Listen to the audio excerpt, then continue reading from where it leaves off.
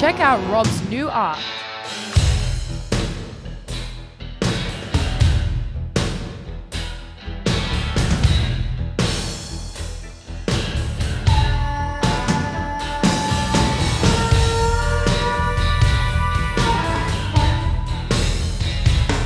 Paint the Rob way.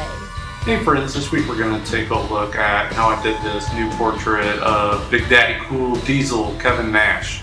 Uh, first start off with a lot of paint in the background with a palette knife, moving it around, creating a little bit of energy. Now I'm coming in and doing the blacks. Uh, largely this piece will be all in gray tones.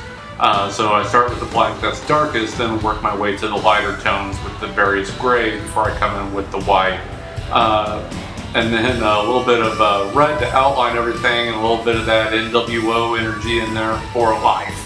And, uh, you know, uh, kind of a comic booky illustrative feel with the red instead of black outlines. I thought that'd be pretty fun. And there's the finished piece. Not bad. Own it now. Hey friends, got three new paintings up at WWE auction. Dancing his way into everyone's heart, Fandango, Alberto Del Rio, let's try that again.